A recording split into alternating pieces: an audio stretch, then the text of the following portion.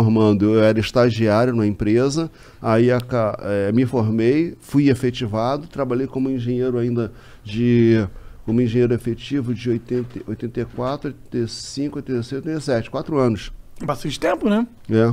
87, que aí foi quando tu. Quando a gente foi contratado, no final de 87, o- o início de 88, a gente foi contratado para ser redator do TV Pirata. Aí finalmente eu pude trabalhar profissionalmente com humor, né? Até ali era só hobby, né? A gente fazia no início um jornalzinho, que depois virou uma revista, Caceta Popular, Caceta Popular tal, entendeu? Mas sempre hobby, não, não- não entrava grana.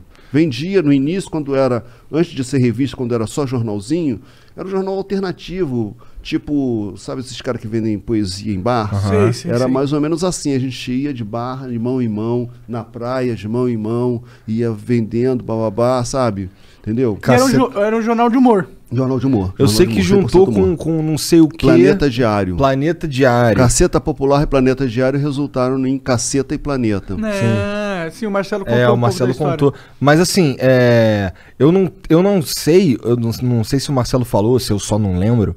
É, metade era de um lado e É, metade uma era de parte, outro. não, a- assim, a Caceta era maior.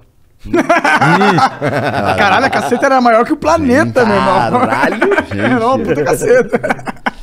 Fogo, cara. é mais forte que eu, cara. Negócio, sabe?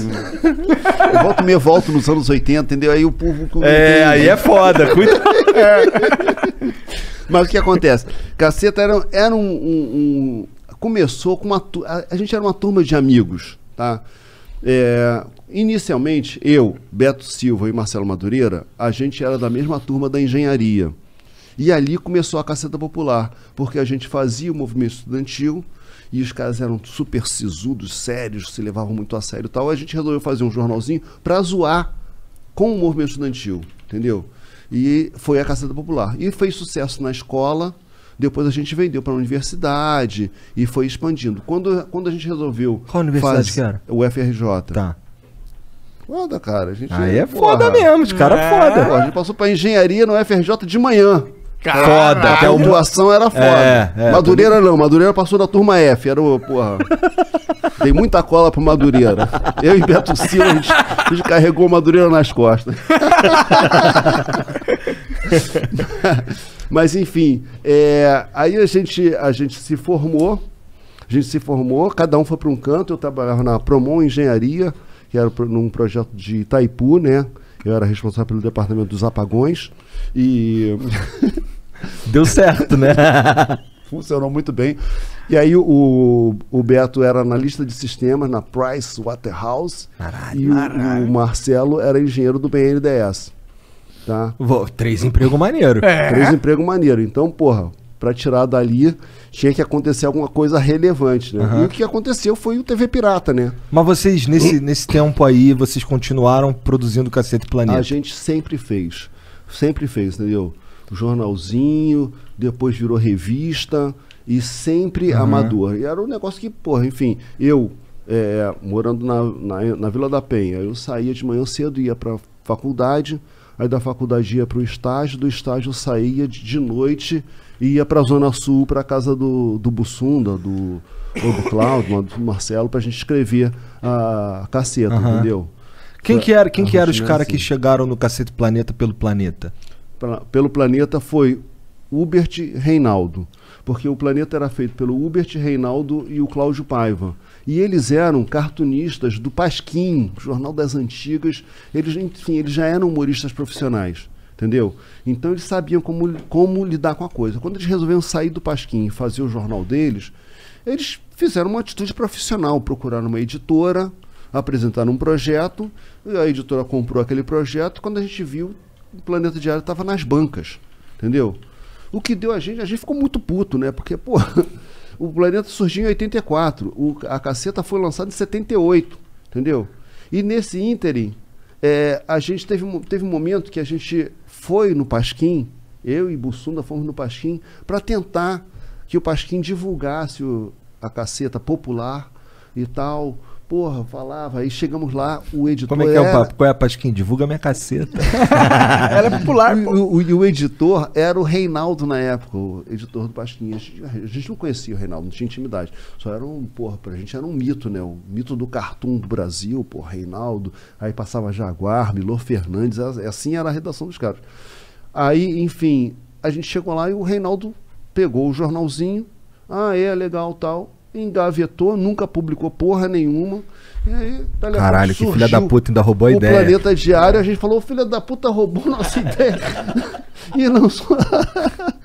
e na verdade do tinha nada a ver com isso, os caras eram bons pra caralho. E, e a, e a relação, na verdade, apesar de toda essa zoação, era super relax. A gente sempre co- é, é, colaborou no planeta, o planeta sempre colaborou na caceta, entendeu? Tinha uma relação, tinha uma, um, um, um, Uma simbiose. um DNA, uma simbiose, exatamente, boa palavra. E aí o que acontece? É, quando a gente foi escrever o TV Pirata, foi começar, ia lançar, não sei o que e tal, a gente foi procurado por um produtor musical, que era o Paulinho Albuquerque.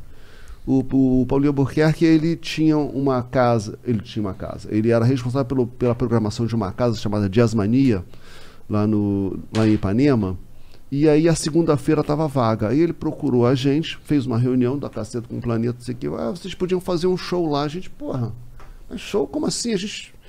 Não, vocês podiam fazer, junta aí, vocês bom umas coisas para vocês fazerem. E a gente pensou, porra, não dava pra gente fazer um show de esquete, porque a gente já estava escrevendo esquete para os melhores atores do Brasil, né? Pô, Marco Nanini, Regina Casé, Diogo Vilera, porra, sabe? Só nego foda, Luiz Fernando Guimarães, só nego foda. A gente falou, cara, a gente vai perder pra gente mesmo, né? Ser isso que vai acontecer. Aí a gente fez um show que era um show de, de música. Eram músicas de humor originais, não eram paródias, entendeu? A gente chamou o Mushebab, é, que foi o diretor musical do Cacete Planeta, depois ficou como produtor musical do programa. Tu tocava aí- o quê? Eu nada, nada. A gente, a gente só fazia as letras e cantava, né? E o Mu era o responsável por fazer as melodias, entendeu? Então a gente começou junto na época que tava rolando Ultraja Rigor, tava rolando é, é, aqui no, em São Paulo tinha o Premier. Esse eu não manjo. Premier, Premier de Tando Breck, é, Língua de Trapo, enfim. Grupo Rumo, era uma, uma galera dos anos 80 ali. Justamente na época que tava bombando os quadrinhos aqui. O Angeli, Glauco, Laerte, essa galera toda na parte dos quadrinhos. Então, era uma época, o- o nascimento do Rock Brasil, Circo Voador, Paralamas, Titãs, tudo isso a, a gente fazia parte dessa turma, entendeu? Sabe, a gente via via caceta, via show, a gente, a gente fazia shows, inclusive tinha um negócio chamado show de playback. Ah. O show de playback era o seguinte: você saía numa noite por vários clubes, você cantava.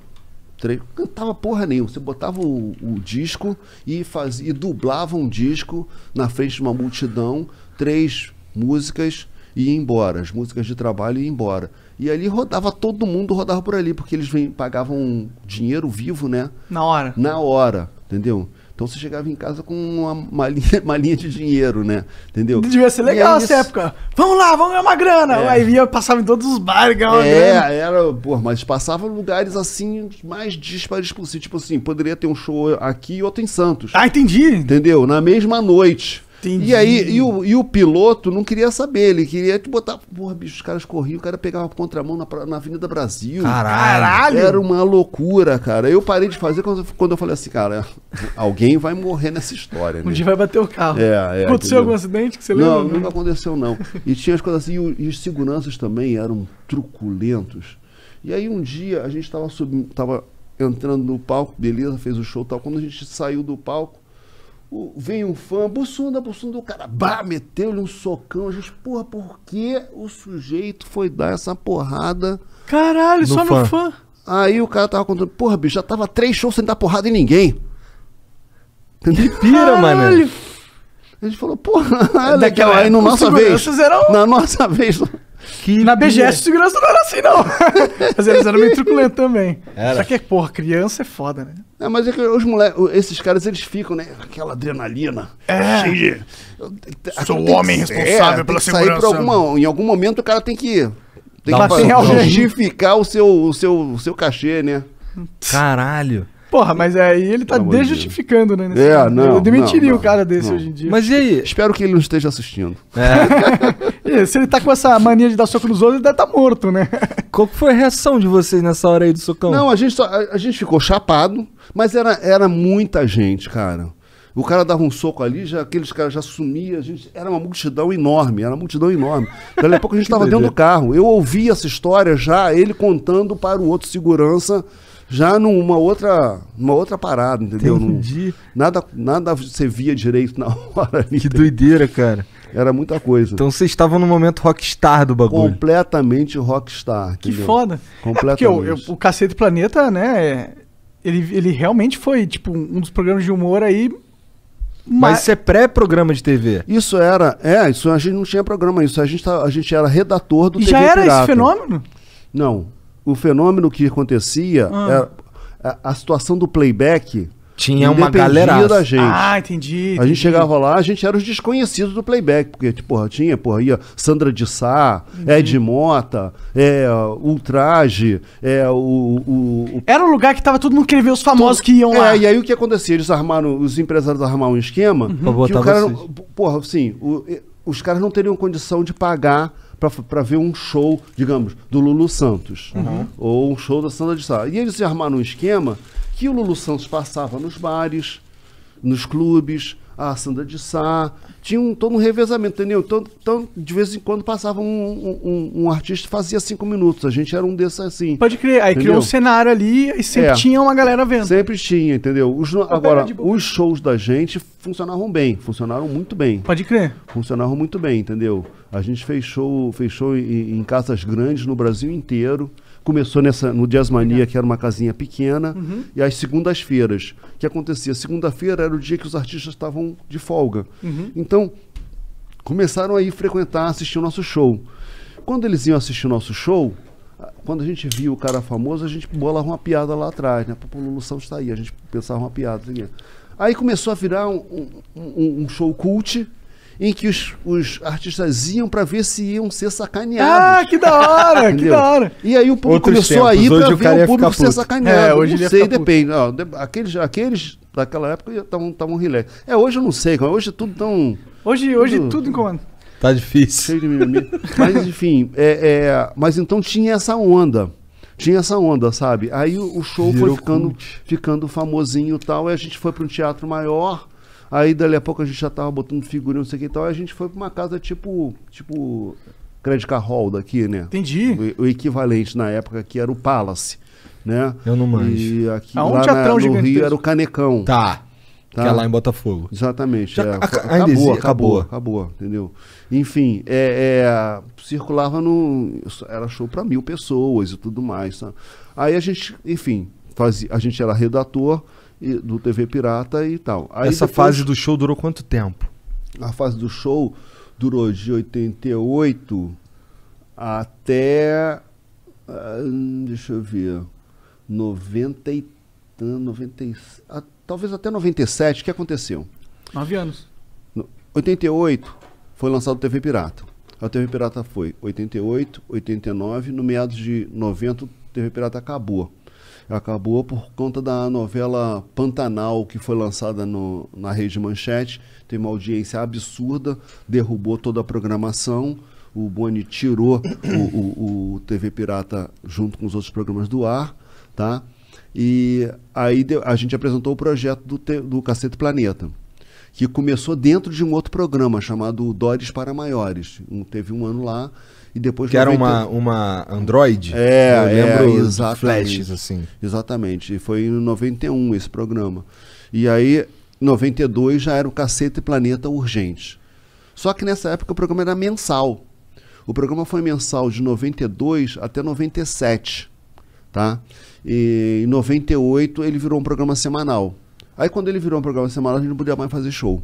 Entendi. Aí parou tudo, entendeu? A gente Mas, se mas dedicava... foi, valeu a pena, eu, eu imagino. Sim, valeu a pena. A gente negociou, valeu a pena, porque a gente virou um programa inédito. Até hoje não tem um programa que é que o, o elenco é, o, o- é a equipe de redação, né? Nós éramos atores e autores daquele programa, entendeu? Zoava Então, todo mundo. É. Era muito engraçado. Então a gente fazia segunda e terça, a gente gravava o programa. Quarta, quinta e sexta, a gente escrevia o programa. Então a gente só fazia isso, né? E chegava no fim de semana, eventualmente tinha uma viagem do programa, ou a gente escrevia, ou, enfim, bolava alguma coisa também, sabe? Viviam juntos o tempo inteiro, imagino. É, é. é época de garotada, né, e tal. Teve um período que até o Bussum, do Alberto Silva e o Cláudio Manuel, eles moravam juntos. E aí ali virava meio o QG da galera, né? Pode crer. Vocês nunca saíram na porrada, ficaram puto um com o outro? Todo dia.